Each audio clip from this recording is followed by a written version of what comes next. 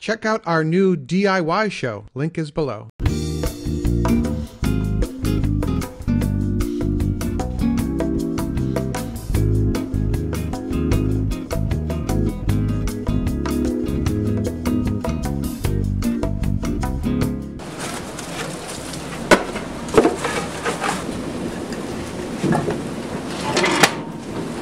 Hey everyone, today we're at my friend's Sugar Shack. This is a community Sugar Shack. It's a bunch of neighbors that got together and took an old Sugar Shack that was at a friend's farm and they kind of fixed it up. And all the kids come, they gather up all the syrup and then they come here and they cook down the sap on the weekends. And my friend Shelly, who's one of the group, is running the camera. Hi Shelly. Hi.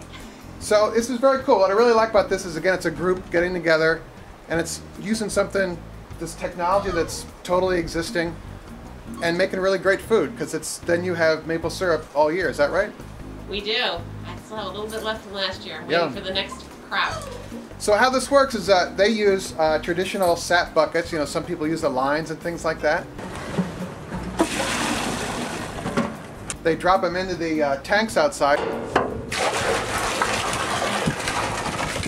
And then they have a piping system that's gravity fed that comes into, this is called the evaporator here, this big thing.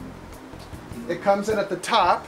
So our sap comes in here, runs through this channel, and then through this pipe, and it's preheated that way before it gets into the evaporator itself. This is the initial, I think you'd maybe call it the first phase, I'm sure there's a word for it, but you boil off most of the water out of the sap here, then it moves into the finishing tray here.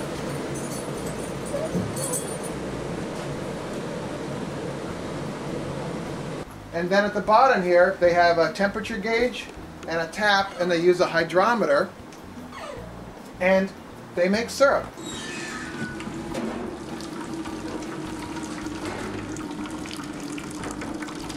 They have a bunch of scrap wood. This is all wood fired, and it's again scrap wood that wasn't is going to be used for something else.